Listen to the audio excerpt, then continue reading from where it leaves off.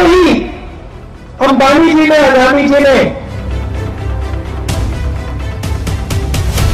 हिंदुस्तान के कृषि के सिस्टम को पकड़ लिया।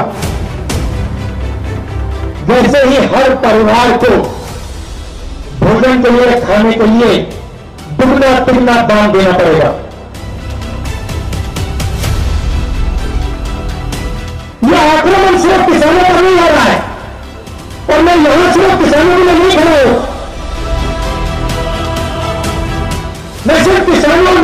नहीं खड़ा हूँ मैं हिंदुस्तान की पूरी पूरी जनता के लिए खड़ा हूँ। क्योंकि नुकसान सिर्फ़ किसान का नहीं, नुकसान सिर्फ़ मजदूर का नहीं, नुकसान पूरे देश का होने जा रहा है।